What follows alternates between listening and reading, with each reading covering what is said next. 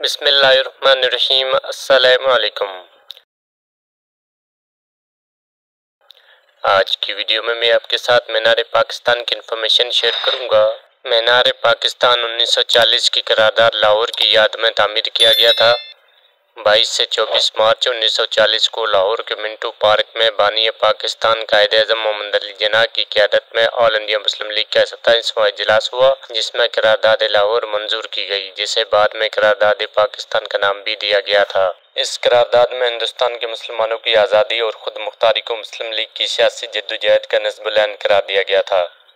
N اسی مقام پر جہاں اس تاریخی اجلاس کا اسٹیج سجایا گیا تھا ایک یادگار تعمیر کی گئی، جسے مینار پاکستان یا یادگار پاکستان بھی کہا جاتا ہے۔ قیام پاکستان کے بعد ہی لاہور کے تاجروں کا خیال تھا کہ لاہور جیسے تاریخی شہر میں بھی تحریک آزادی کی کوئی یادگار تعمیر ہونی چاہیے۔ اس کے لیے چندے تک کٹھے کیے گئے، لیکن کوئی قابل ذکر پیش رفت نہ ہو سکی۔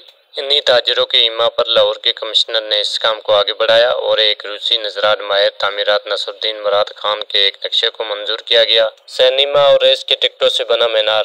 گورنر مغربی پاکستان جنرل اختر حسین نے تیئیس مارچ انیس سو ساٹھ بمطابق پچیس رمضان المبارک تیرہ سو اناسی کو اس عظیم یادگار کا سنگ بنیاد رکھا۔ تعمیر کا ٹھیکہ تحریک پاکستان کے ایک کارکن میاں عبدالخالق کو دیا گیا اور گو ناگو مالی مشکلات کی وجہ سے سات سال بعد چھبیس جولائی انیس سو ستسٹھ کو مینار پاکستان کی تعمیر مکمل ہوئی۔ اس پر کل لاگت پچہتر لاکھ روپے آئی جو چھ فروری انیس سو ترسٹھ سے سینما اور گھر دوڑ کے ٹکٹوں پر بل ترتیب پانچ اور پچاس پیسے کا اضافی ٹیکس لگا کر پوری کی گئی۔ تھی مینار پاکستان کا ایک فضائی منظر۔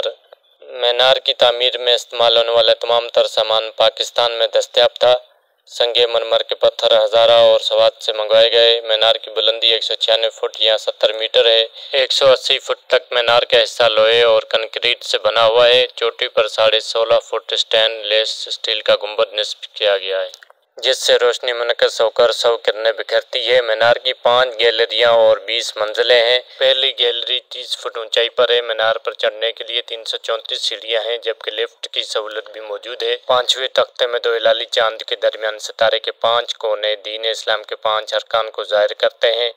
اوپر سے دیکھیں تو مینار پاکستان کے ڈیزائن ایسا ہے جیسے پھول اپنی پتیاں کھولے ہوئے ہو مینار پاکستان کے نچلے بیرونی حصے پر سنگ مرمر کی ساٹھ فٹ لمبی اور دو فٹ چوڑی انیس تختیاں نصبے، جن پر خط کفی میں آیات، قرآن خط سلس میں ننانوے، اس میں اسنا خط، نستلق میں پاکستان کی آزادی کی مختصر تاریخ۔ قومی ترانہ قائد اعظم کی تقاریر سے اقتباسات، علامہ اقبال کی نظم خودی کا سر نہال لا الہ الا اللہ اور قرارداد پاکستان کا مکمل متن اردو، بنگالی اور انگریزی زبانوں میں کندہ ہے صدر دروازے پر اللہ اکبر اور مینار پاکستان کی تختیاں آویزہ ہیں۔ یہ خوبصورت خطاطی حافظ یوسف صدیدی، محمد صدیق الماس، صوفی خورشید عالم، ابن پروین رقم اور محمد اقبال کی مرون منت ہے۔ ایک تفریحی پارک مینار پاکستان کے ارد گرد اٹھارہ ایکڑ رقبے پر محیط خوبصورت اقبال پارک ہے، جس میں سبزارہ فوارے راہداریاں اور ایک جھیل بھی موجود ہے۔ مینار کے سائے تلے قومی ترانہ کے خالق حفیظ جالندری آسودہ خاک ہے۔